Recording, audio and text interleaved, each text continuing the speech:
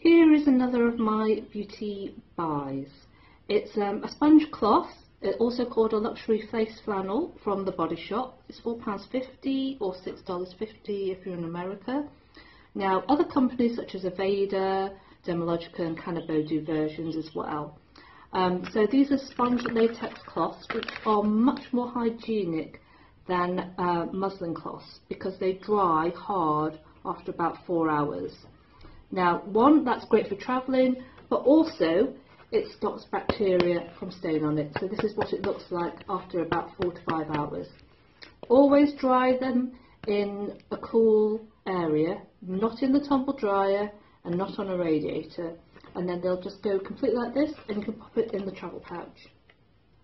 Now there is a trick to using a cloth like this, so I'm going to show you how. First of all, fold it into a triangle like this, lay it flat down on your palm like this, take the right hand side, tuck it under your little finger, take the left hand side, pull it and wrap it around your thumb and then you've got a mitt that you can use for complete control.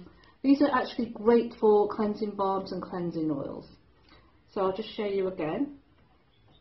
Fold it into a triangle, Use the tip of the triangle, lay it flat on your palm, tuck under your little finger, pull the left hand side and wrap around your thumb and you've got a perfect mitt again. Okay? And then once you finish cleansing, just fold it like this and lay it down on your bathroom. So this is what it looks like when it's dry. And all you have to do is just pop it into water like this and by magic it goes soft all again. Okay? So usually these last about a year.